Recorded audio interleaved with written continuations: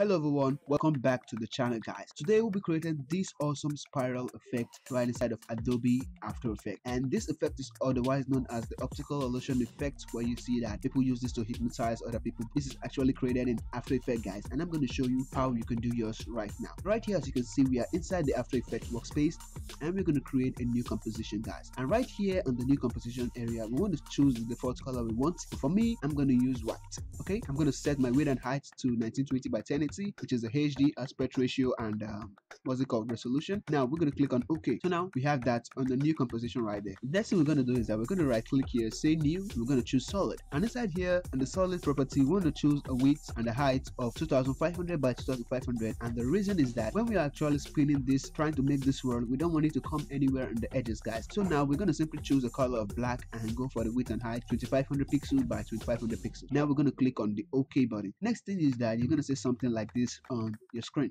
so now right here in the effect panel, we're going to simply look for this effect called the Venetian blind. Okay, there are two actually, but we're going to use this one under the transition. Okay, we're going to double click on that and it's going to apply to our selected layer. Okay, now you can see it here the effect controls and now we simply want to increase the transition completion to somewhere around 65% guys. So we're going to increase it to somewhere around 65. As you can see, we are somewhere at 64, which is still good that way. Now we can simply increase the width like this. So when we increase the width, the bigger it becomes. And we want to make it as big as possible and make sure that it's not missing up any space. So as you can see like this it's actually good. Now the next thing we need to add to this is called polar coordinates okay? So we're simply going to add this effect called polar coordinates. Now we're going to simply type in polar and you can see right there double click on it and it's going to apply to your clip or you just drag and drop it there. Now from the interpolation change that to 100 percent and as you can see it says in type of conversion polar to, to rect. You want to change that to rect to polar and now you get something like this which is actually what we need for this effect guys. Now right here in the effect we're simply going to add one more effect guys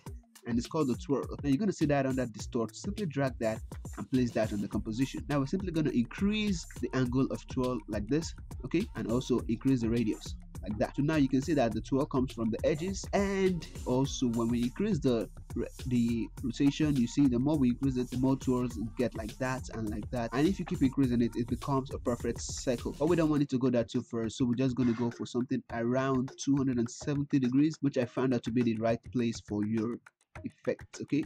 So that's the right rotation you should be using if you're doing this kind of effect. So now here we are at 200 and something you can go to 90 it doesn't simply matter just make sure it stays between that range. Now we have something like this right here in the effects control we're simply going to open up this place open up the effect and also the transform.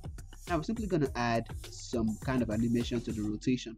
So we're simply going to alt click on this rotation keyframe button or it's called the time vary stopwatch I'll click on that place and you're going to see a property space come up like this. Now we're simply going to go to the second line like this and now we're simply going to type in time. We're going to add this extra sign like this. We're going to add 10 and simply going to add the plus sign and call the value, okay? Plus any value we want to add to this. Now we can simply close that up once we are done. And now when you play this animation or this time frame, so now when you play this, you're simply going to get a swirl effect like this and it's pretty easy guys. That's all you need to create this kind of swirl effect. Well, for this, you can also create other colors by just right clicking there and choosing the default colors. You can do that from the beginning guys. And that's how you can easily create this kind of swirl animation right inside of Adobe After Effects.